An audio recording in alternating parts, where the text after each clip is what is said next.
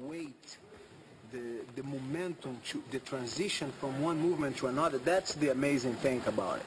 And you must allow yourself to go as um, a, like an automatic pilot.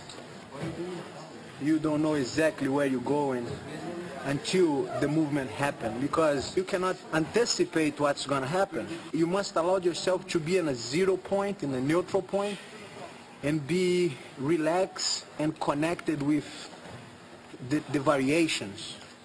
So you pretty much flow with the goal. And um, this is a point beyond the knowledge. Is years of years of playing around give you this kind of sensibility.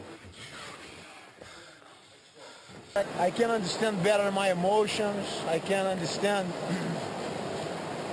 my self-control. I can really connect myself with a beautiful energy, you know. I feel like after I leave the water, I'm all numb. I, I don't feel my, my body, but I feel some kind of very special, nice feeling inside, you know. It's like, it's beyond the pain, beyond the, the anxiety, beyond the, the out of control. It's just, you know, it's almost the point where you, you surrender and you're gonna just float. It's almost when you're gonna die, you know, but it's, it's a pleasure. It's not the pain and the uncomfortable, just this. Thank you, Juan.